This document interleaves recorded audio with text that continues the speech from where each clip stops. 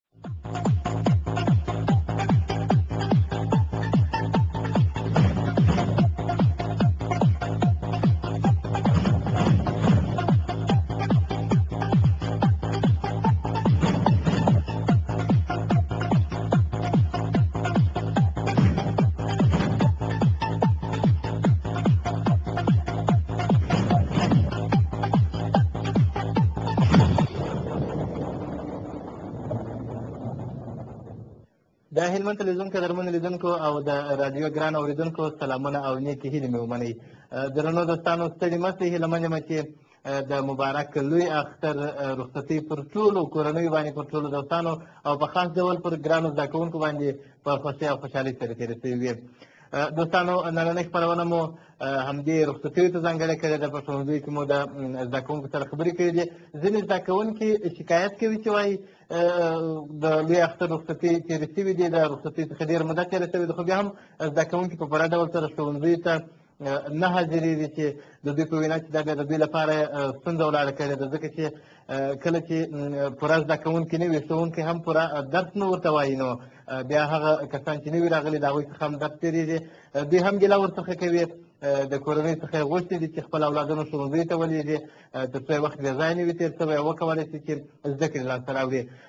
نننۍ خپرونه مو د لښکرګاه ښار اړوند د ساتیانو په سیمه کې د دوستي په نوم ښوونځي ته ځانګړې کړې ده د دغه لیسې د مسؤلینو زده کوونکو سره مو خبرې کړې دي دلته زیات شمېر زده کوونکي راغلي دي خو لا څه زده کوونکي نور هم خپلو ښوونځیو ته پر وخت نه حاضرېږي دوی دا غوښتنه لري د دوی څخه چې باید پر خپل وخت ښوونځي ته راشي تر څو درسونو قضا نه شي او وخت یې بې ځایه نه وي تېر شوی دا چې زده کوونکي نورې څه غوښتنې لري یا په خپلو ښوونځیو کې د درسونو څخه څومره خوشحاله دي مسؤلین یې په اړه څه وایي خپرونه راسره تر وروستیو شېبو پورې وګورئ او واورئ تاسو ته به دا ټول روښانه شي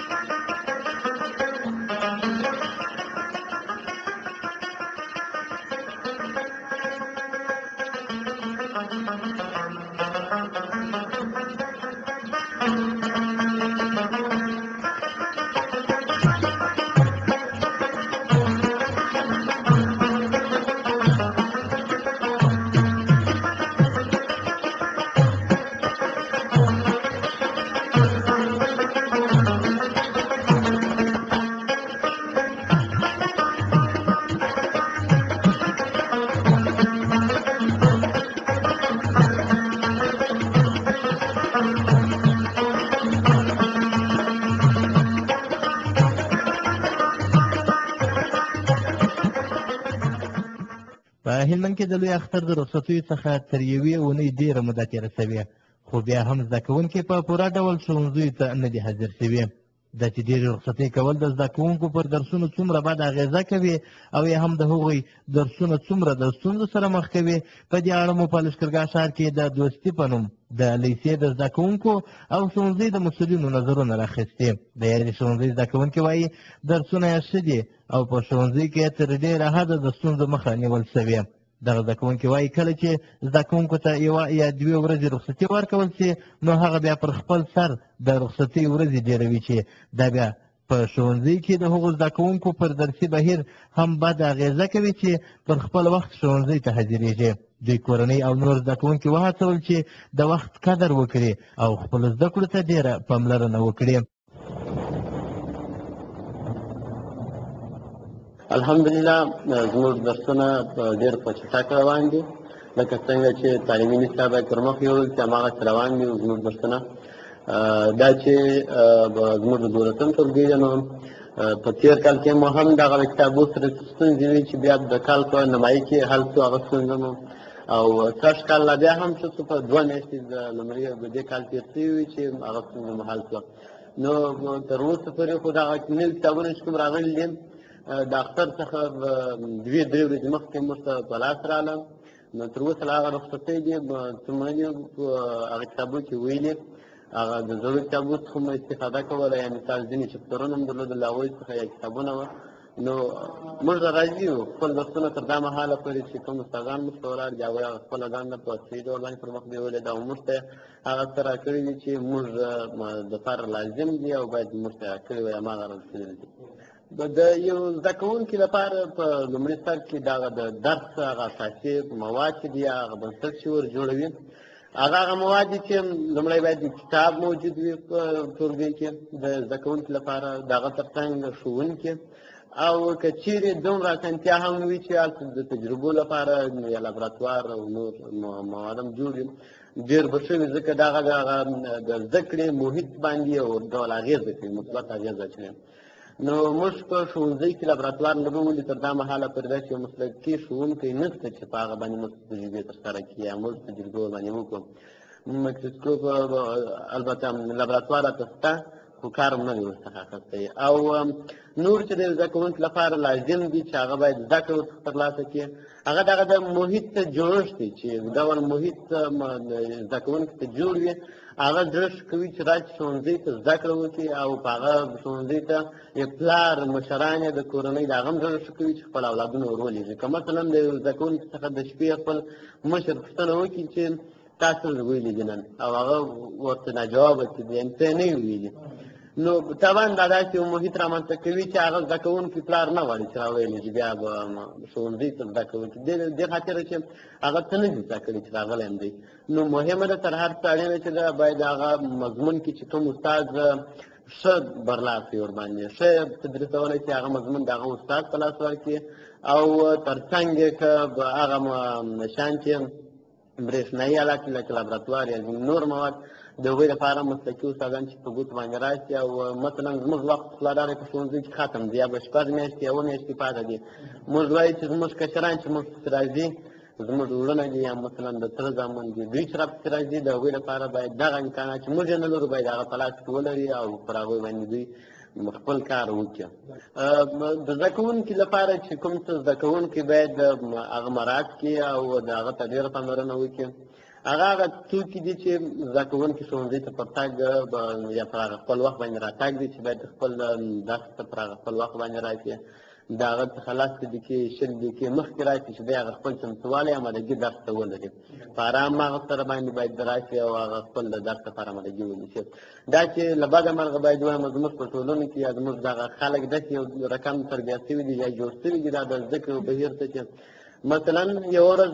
د زده کوونکي لپاره یو مثلا د ازادۍ ورځ د یو ورځ مثال لمانځل کېږي یا مثال د اختر لپاره درې څلور ورځې رخصتي لرو یا هم دا چې نور زموږ په هیواد کې دا د رخصتي دغه مې ورته زیات کړي چې په تعلیمي کال کې نه میاشتې دي تقریبا دوه میاشتې کې سره جمع کې د رخصتیانې راځي نو د دغه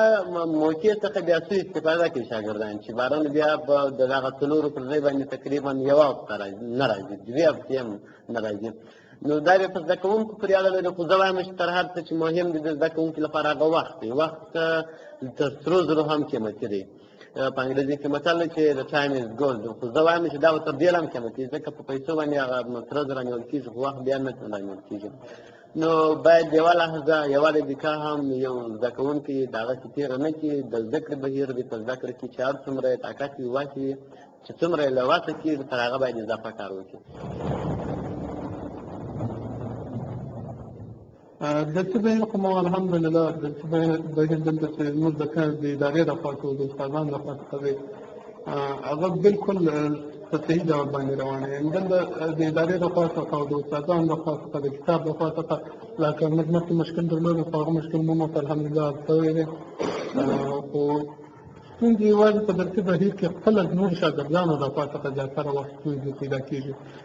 مثال په ډول باندې نن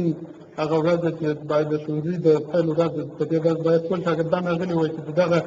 او دغه د نوي نصاب کتابونه چې موږ ته راکړل شوي دي د دغو د شروع ورځ هم اصلا نن ده دغه کتابونه نن باید شاګردان ټول راغلي وای چې دوی د دغه کوم ماسټر پلان چې ښوونکي او اداره ورته جوړوي د دغه ته دوی نن ورځ باید خبر شوي وای او که دا داسې اوس مثلا دغه او سم شاګردان داسې په دغه کې ونیسي چې ځینې راځي ځینې نه راځي شاید دغه پلان چې استادان او اداره و دغه نوي کتابونه په جوړي دا پلان بلې او ته پاتې شي نو او موږ مخکې هم هغه وخت موږ په جوړي کتابونو باندې زیات وخت خپل مصرف کړی دی خو اوس موږ دا نوي کتابونه باید د دغه تعلیمي کال پای ته موږ دا پای ته ورسو باندې خلاصې کړو نو زه د دغه ټولو شاګردانو څخه خپل وروڼو شاګردانو څخه دغه هیله لرم دوی باید دغه نور وخت برباد نه کړي ځکه که دوی رانیسي دا زیاتره وخت که موږ دلته لږ ښه که دا نظر وکړو زموږ پر هغه زده کړه باندې ډېر اغېزه کوي یعنې زده کړه دومره نه کېږي ځینې استادان اوس ډېر زیات فکر د شاګردانو څخه تېر شي دا ډېر زیات مشکل جوړېږي نو دلته بیا استاد هم دا کوشش کوي چې وایي چې لږ درس وویل شي تر څو نور شاګردان هم حاضر شي نو دا د ستونزه خپله شاګردان جوړېږي ځینې شاګردان ته هیله کوم چې دوی دغه ستونزه حل کړي او اجري واکي مکتب ته د وخت څخه څه استفاده ونه کړي طبعا دا همدغه علت دی ځکه چې د کانکور آمادګي خپله دولس کاله ښوونځی موږ وایي په دولس کاله ښوونځي کې که زده کوونکی حقیقت هم دی خپل درس ووایي په صادقانه ډول باندې دی هغه مسؤلیت د ده د کورنۍ لخوا څخه او د ده ټولنې لخوا پر ده باندې ښوول شوی دي یعنې په دولس کاله ښوونځي دی باید په واقعي ډول سره ووایي نو دوی به په کنکور کې هېڅ مشکل ونه لري او دغه څه استفاده چې دوی د وخت څخه کوي یعنې خپل وخت څخه سمه ګټه نه اخلي په ښوونځي کې دغه ځینې کارونه په دې ډول سرته نه رسي اجرې نه ورکوي د خپل درس څخه صرف نظر کوي همدغه علت دی چې زیاتره وخت زده کوونکي خپل په درسونو کې مشکل لري ځکه کنکور داسې پروسه ده چې هغه د دغه دولس کاله ښوونځي چې څونه درسونه وړاندې شوي دي پر یوه ځای باندې امتحان اخیستل کېږي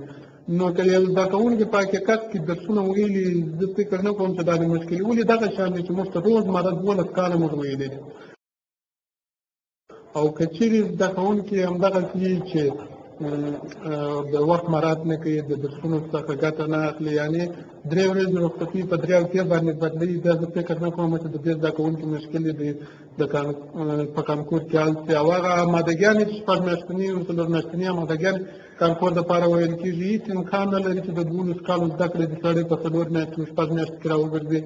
تر دې له هغه چې دی په دا دوولس کاله کې کوښښ وکړي ښه پوښتنه ده دا خو داسې خبره ده تاسو ته معلومېږي چې زموږ ټولنه یعنې د مدنیت سره اوس ځان یوځای کوي داسې ټولنه نه ده چې دا مخکې مدني سوې ده اوس د نړیوال مدنیت سره چې دا ځان یو ځای کوي دې ته خامخا داسې حالات به څخه به دا تېرېږي لکه اوسني حالات مثلا دا زده کوونکي زیاتره د زده کوونکي دي چې اوس هم له دغه تعلیمي بنسټ د دا تعلیمي نصاب سره دوی ګام پر ګام نشي تللی ځکه چې اوس په دې چې کورنۍ شته چې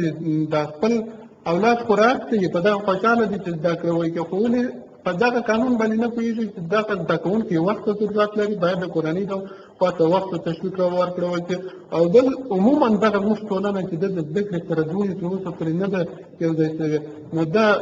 وخت ضرورت لري چې دغه ټولنه مطلب یو وار د زده کړې سره عادت کړي مثلا دغه نوی نصاب چې راپورته کېږي دا به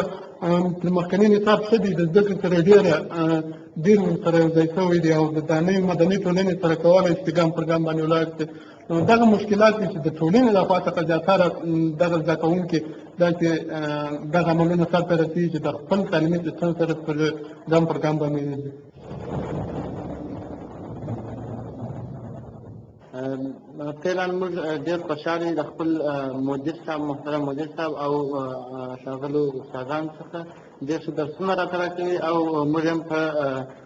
ښه کیفیت او په ښه دغه د ترلاسه کوو نو موږ ډېر ښه خوشحاله یو ځینې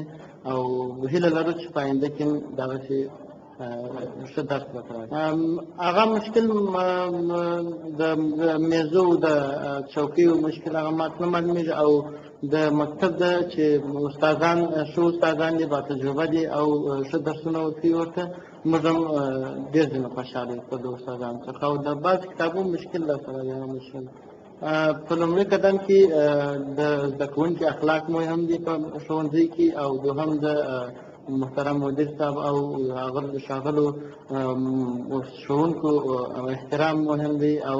همداسې زده کړه هم مهم ده چې په ښوونځي کې اوسي هغه ډېر اغېزه کوي دوی ته ځکه چې د دوی سره هغه درسونه هم تېرېږي هغه مهم شیان هم تېرېږي بیا دوی نشي کولی سرلاسي کړي نو بعضې شاګردان دي چې مشکلات لري ولسوالۍ ته تللي او نور شاګردان دا چې په میلاو تللي او په دې خاطر دوه درې ورځې څه موده هغه د دوی خپل ذهن او توانایي ده چې د بل شاګرد څخه دوی زده کړه وکړي او ترلاسه کړي هغه درسونه که چیرې دی یو څه پکښې دغی نو بیا نشي کولی دغه بحث تیر ده غیر حاضري خو تاوان نه دی خو په دې شرط چې دی غیر حاضري وکړي او بېرته راشي هغه تېر درسونه د یو شاګرد څخه د اول نمره څخه دوه نمره څخه درې نمره څخه ترلاسه کړي دی کولی شي غوښتنه مو دغه ده چې هر زده کوونکي که زده کوونکي که ښوونکي خپل وظیفې ته یعنې خپل درس ته خپل پر وخت ځان ورسوي او غیر حاضری تاوان هم کوي په دې خاطر چې هم په نمرو په امتحان کې تاوان کوي او هم د دستور تاوان کوي چې بیا شی نه شي کولی ترلاسه کړي تهران خو اوس نو درسونه ډېر ښه په ډېر ښه توګه روان دي او معلمان هم خپل پر وخت باندې راته حاضرېږي خو ټول کوم معلم چې خپل موږ سره ساعت لري هغه خپل سره پر ساعت باندې تر څو پورې چې ساعت ختمېږي دوی بېرته پر خپل ساعت باندې بېرته موږ ته څنګه زموږ درسونه ډېر ښه روان دي او ځینې کتابونه شته چې هغه خو نه دي راکړل شوي او بیا هم تاسو داسې موږ خبرې کړي دي هغو چې موږ دا کتابونه درکړو او کوم کتابونه چې موږ لرو هغه به ډېر ښه توګه اوس درته کېږي او ښه د درسونه ښه روان دي زما په نظر چې باید یو شاګرد خپل درسو ته دغه وکړي او په ښوونځي کې باید کم کتابونه چې دي هغه باید ورته حاضر وي ځکه ریاضیات او مثلثات دا ریاضیان دغه هندسي چې دي دا ډېرې مهمې دي پیدانو ته ځکه چې په هر ځای کې اوس دا شان کارېږي او اوس فعلا موږ دغه شان کم دي دا ریاضیات او مسلسات همداسې هغه خلک چې څنګه ادارې له خوا څخه بېرته دوې ورځې درې ورځې پسې ورسې او بیا یوه هفته یوه نیمه هفته بېرته پسې کړي هغه دې ته ډېر تاوان کوي که چېرې دوی دې ته فکر وکړي ځکه اکثره شاګردان ستاسو د تېر شوي درسونه بیا نه شي راګرځولی ځکه تېر شوي درسونه که موږ تېر فکر وکړو راګرځي نو ځکه چې استاد زموږ ته دا درسونه نه تکراروي هغه وایي چې زه خپل پروګرام چې هغه زه خپل پروګرام مخته وړم نو په دې باندې دا د دې ډېر تاوان دی که چېر دوی دوی فکر وکړي د ټولو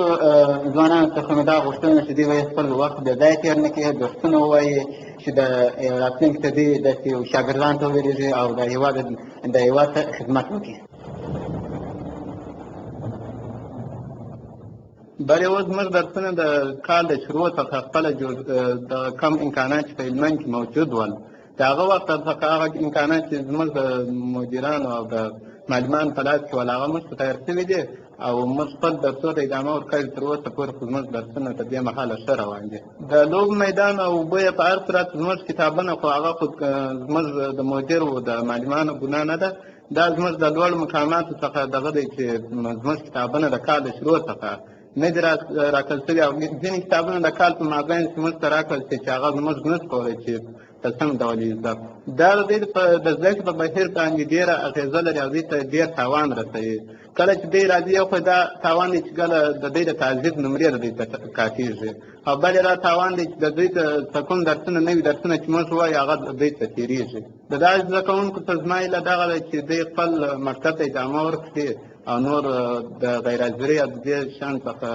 لاس واخلي او خپل درسونه ته په ښه توګه ادامه ورکړي او یې زده کړي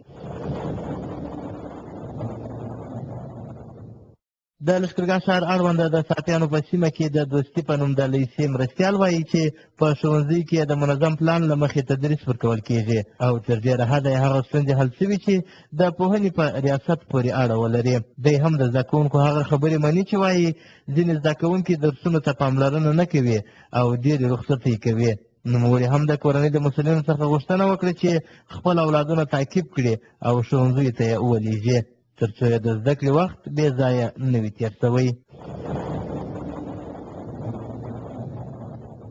بسم الله الرحمن الرحیم په مکتب کې درسونه پر مخ روان دي استادان ټول راځي معلمین ټول حاضر دي تر وخته پورې په هغه ټکي چې کوم وخت استاد نه وي هغه تر معلمان صاحبان ورځي یا زه خپل ورځم یا مدیر صاحب ورځي زده کړو کوم مقصد شاګرد د کار نه پرېږدو د دې د کاره پاتې وزارت کې پاتې شي هغه خامخا لږ مشکلات خو شته د بوبو مشرا چې موږ هغه ځای کې ذخیرې خو نه لرو هغه هم پېشنهادونه کړي دي انشاءالله هغه کار به هم سم شي او د کتابو ستونزې وې چې د دولسم ټولګیو دا نوي نصاب تعلیمي نصاب چې راغلی دا خو تاسو خپله په ټول افغانستان کې دا مشکلات وو چې هغه پاکستان کې بند پاته و نیټو سول اوس هغه راورسېده او دولسم ټولګي کوم کتابونه او توضیح کې هغه مشکلات هم وو تر اندازې حل شو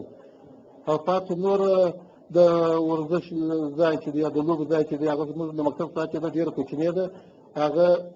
چندانې خوند نه کوي هغه نه لرو که چې کور ته په د والیبال لپاره وایي هغه موږ مقصد ساته چې خپل چې هغه ډېر کوچنۍ ساحه ده زده کوونکو نو لږ راغلي دي اوس طبعا خو نو دا ډېر ستا له معرف خراب او دوی اوس پر هغه موج باندې بیا یار شوي دي اوس نو وار په وار دوی خو نو اوس خپل دا کوشش کوي چې راشي نو موږ د پلرو سره تقاضا کوو چې دا کوو دوی خپل ځامن واخلي یو مکتب ته راولېږي د لسو لپاره دا د دوی لپاره ډېر تاوان کوي خو غیر علمي د ترګونو ځینې ډېرېږي او بل چې وخت ضایع کېږي نو دوی خپل پلرونه باید دغه ته مجبور کړي چې خپل ځامن راولېږي د مکتبو لپاره دا خو هم د شګر لپاره خپل تاوان دی هم د استاد لپاره د سرخوږی دی د ادارې لپاره سرخوږی دی چې یو خو دوی معلومه کېږي بیا چې د رجب ټول معلومه کېږي چې بیا په اسلامیت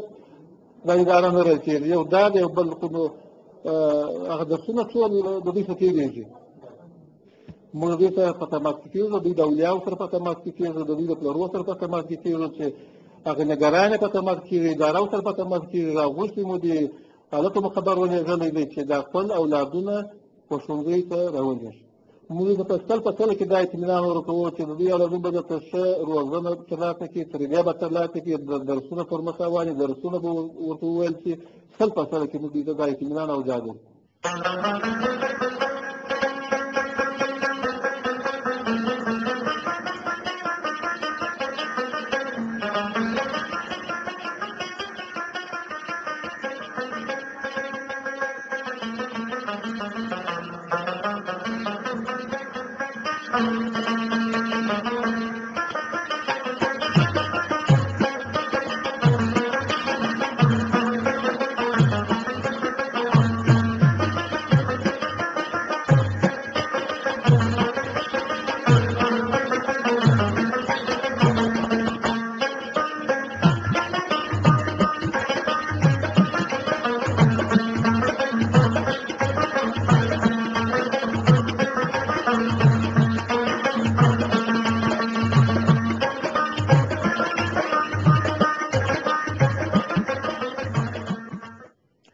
د هلمند تلویزیون قدرمن لیدونکو او د رادیو ګران اوریدونکو دا وې د زده کوونکو